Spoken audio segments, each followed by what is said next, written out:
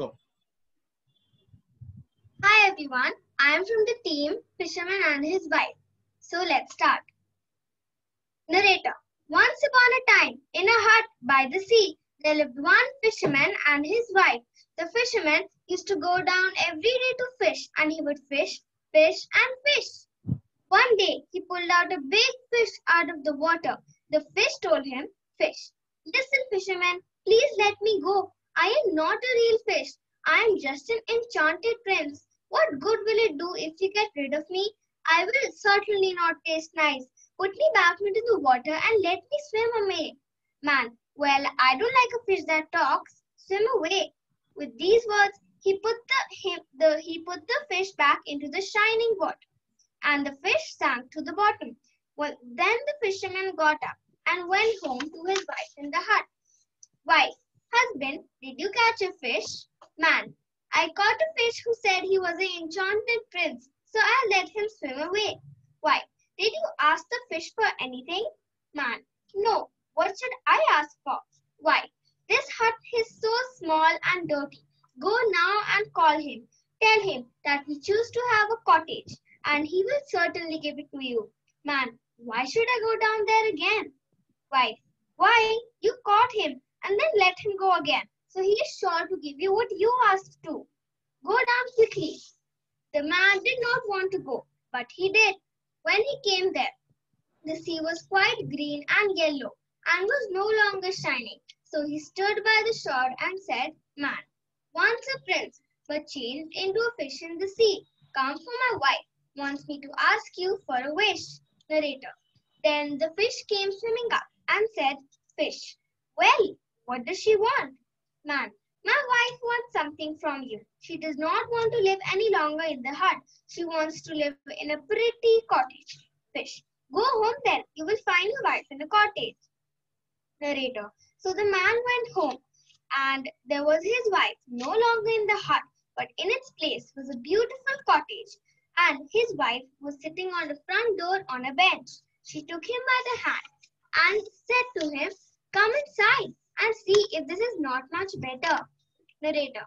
They went in, and inside the cottage was a tiny hall and a beautiful living room, and a bedroom, a kitchen, a dining room, all furnished with the best of everything. Outside was a little yard in which there were chickens and ducks and also a little garden with vegetable and fruit trees. Wife, see, isn't this nice? Man, yes, here we will stay and live very happily. Wife, we will see. Narrator, with these words they had their supper and all went to bed. All went well for a week or so. And then the wife said, Wife, listen, husband, the cottage is too small and so is the yard and the garden. Now, I want to live in the great castle. Go right now and tell the fish to send us a great castle. Man, our wife, the cottage is good enough. Why should you want to live in a castle? Wife, why? You go down to the sea right now. The fish will do it. Man, no, why? The fish gave us a cottage. I don't like to go to him again, you know. Why? Go, he will certainly give it to us. Go now. Narrator. The man did not want to go, but he did. When he came to the sea, the water was all violet and dark blue and dull and thick and no longer the bright green and yellow, but it was still smooth. So he stood there and said, Man, once a prince but changed into a fish in the sea. Come for my wife. Wants me to ask you for a wish. Fish, well, well what does she want now? Man, ah, she wants to live in a great castle. Fish, go home then. She's in the castle already. Narrator, the fish, the fishman went home and thought he would find no house. But when he came near, there stood a great palace. His, his wife was standing on the steps about to enter. She took him by the hand and said, Come inside. Narrator, inside the castle was a large hall with a marble floor, and there were many, many servants. The walls were covered with the beautifully with the with the beautiful of tapestry, and there were fine chairs and tables, crystal chandeliers, and all rooms were beautifully carpeted. The best of food and drink also was set before them when they wished to eat any berries. Outside the house, there were horse and cow stables, a splendid garden with the most beautiful flowers and fruit. And in the park, there were quite deer, roe, and hares, and everything one could wish for. Why, now, isn't this beautiful? Man, yes it is. Now here, we will stay and live in this beautiful castle, and we will be very happy. Why? We will see. Narrator.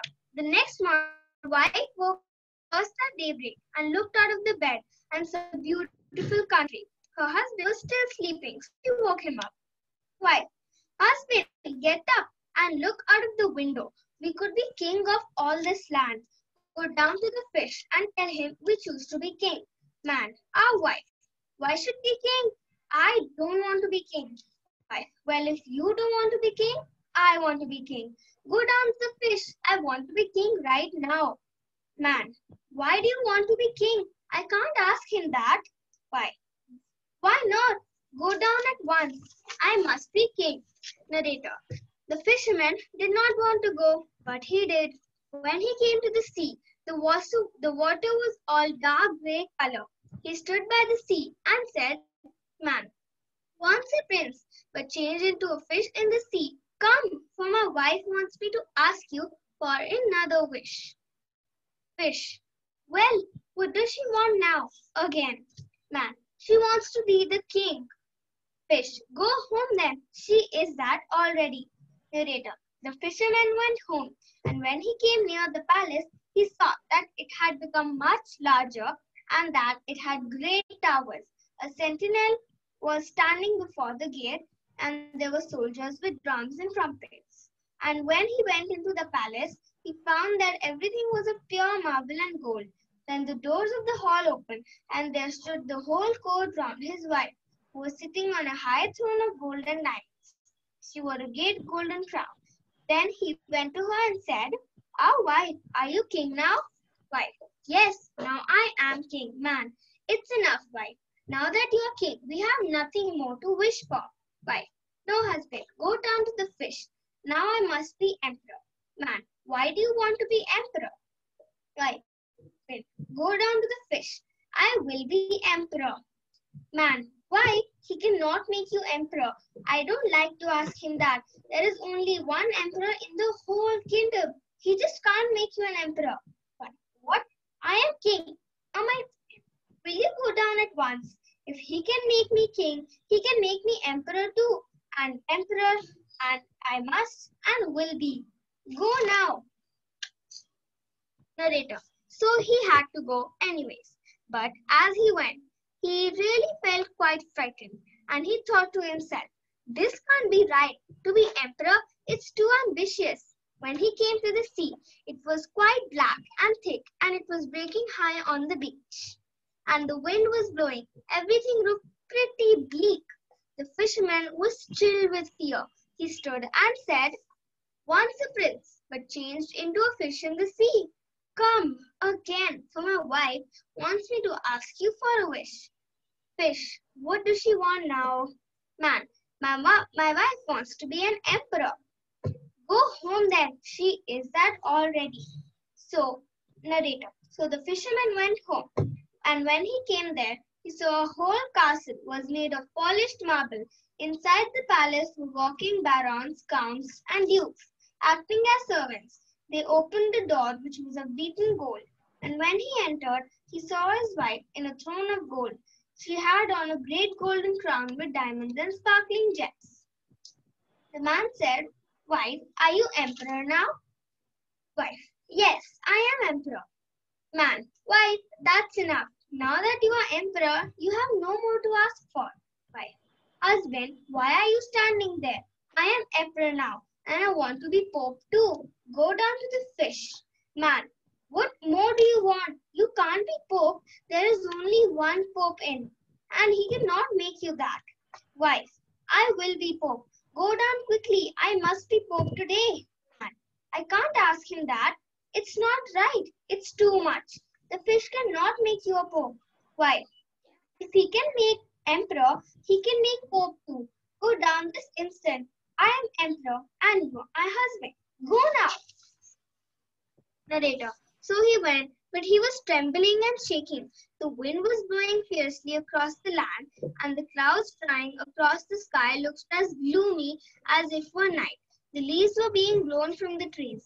Still, the sky was very blue in the middle, although outside it was dark, angry red, as in a great storm. So he said, Once a prince, but change into a fish in the sea. Come, for my wife wants me to ask you for a wish again. Fish, well, what does she want now? Man, she wants to be Pope. Fish, fine, go home then. She is that already. Narrator, then he went home, and when he came there, he saw a large church surrounded by palaces. He pushed his way through the people. The interior was lit up with thousands and thousands of candles, and his wife was dressed in cloth of gold and was sitting on a much higher throne. And she wore three great golden crowns. Round her were numbers of church dignitaries. All the emperors and kings were on their knees before her, with her foot. Why, are you are you Pope now? Why, yes, I am Pope, man. Uh, it's enough now that you are Pope. Be happy now that you are Pope. You cannot become anything more. Why, we will think about that, narrator. With these words, they went to bed. But the woman was not content. Her greed would not allow her to sleep, and she kept thinking and thinking what more she could still become. She turned from one side to the other the whole night, thinking about what more she could become.